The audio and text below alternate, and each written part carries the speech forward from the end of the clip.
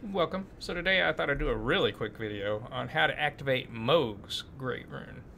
So in order to activate Great Runes, we've been going to these different Divine Towers uh, throughout the lands in Elden Ring. Well, this one we've already been to, because I believe he and Morgott are brothers, so that's why you take their Great Runes to the same spot.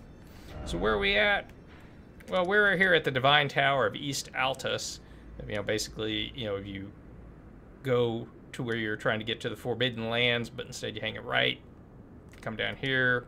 You know, you got to fight a couple of omens to get over here, and then, yeah, you just ride the uh, elevator on up to here.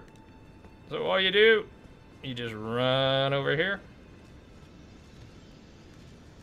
Restore the power of the Great Rune. And now Mohg's Great Rune is active. And what does it do? I think it's like a... I'm not really sure. I've never used it. It's got some funky thing going on with it. What, what do you do? Grants a blessing of blood to phantoms. Yeah, I'm not really sure what that does, but, you know, I, I don't want it. So... I think it's like a PvP oriented one.